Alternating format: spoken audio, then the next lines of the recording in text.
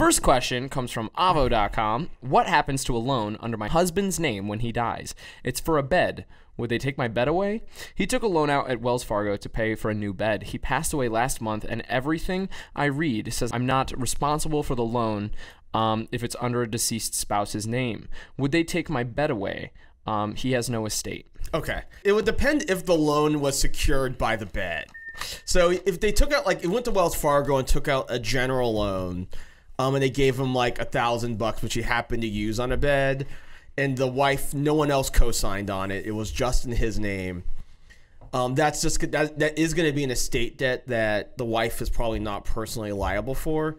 And under Georgia law, generally, if she defaults or the state has no other assets to pay the loan, the bank will probably just write it off. I wonder if maybe they like bought it from a store and then the financing Yeah, agreement probably through Wells Fargo. Was through through, Wells Wells Fargo. Fargo. That and makes in sense. that situation, that's what I imagine was more like a Wells Fargo credit card. Gotcha. That's exactly That what it must be. Because the, the idea of often- going, the yeah. idea of going to a Wells Fargo and being like, "Hey, I really need like money for a bed." need a bed. It would be a really nice bed. If that's the case, if it is like a finance agreement through a store where where you got it and it's just Yeah. being controlled by Wells Fargo, then there is a chance that that might be one of these things where you know you don't fully own the bed until Right. you've paid off. Yeah. It's like leveraged or whatever. Yeah. Right, almost What like a about a- rent, not like a rent to own. They could file a creditor claim against his estate, Yeah. and then the court could look into his estate because she says he does not have an estate, but that's Everyone has an estate. everybody has an estate. This hasn't been filed with the court yet. Gotcha. And if and if he really bought a bed that's just in his name and it's just his name on this bed, well then th- th- they're going to argue with the court. Well, this is his estate asset.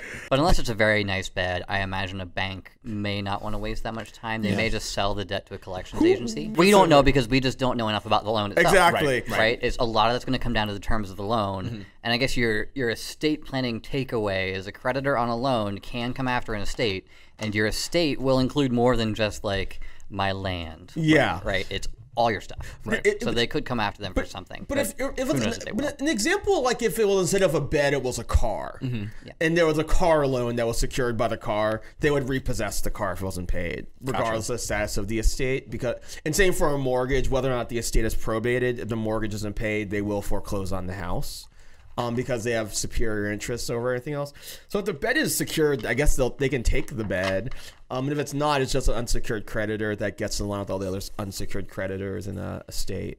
So a secured loan means it's tied It's to tied a to that physical specific thing. asset. That's Yeah. cool. I didn't. specific thing.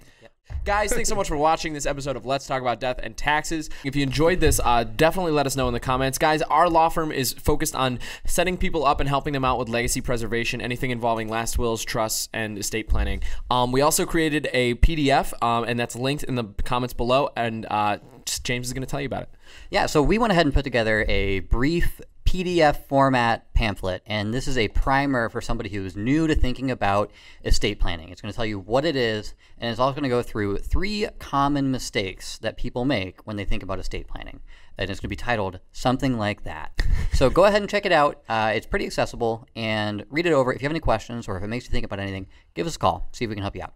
Yeah, you can also work with us straight away if you give us a call at 404 939 7562 or send us an email at info at modernestateplanning.com. Guys, if, also, if you could share this video on your timeline, that seriously helps us out. Guys, have a great day. Thanks so much for watching.